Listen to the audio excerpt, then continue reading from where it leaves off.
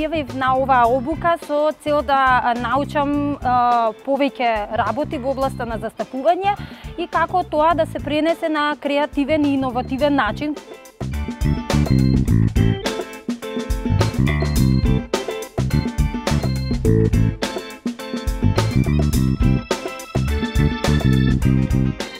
Нашата тема е еден глас, еден подпис, чекор до промена.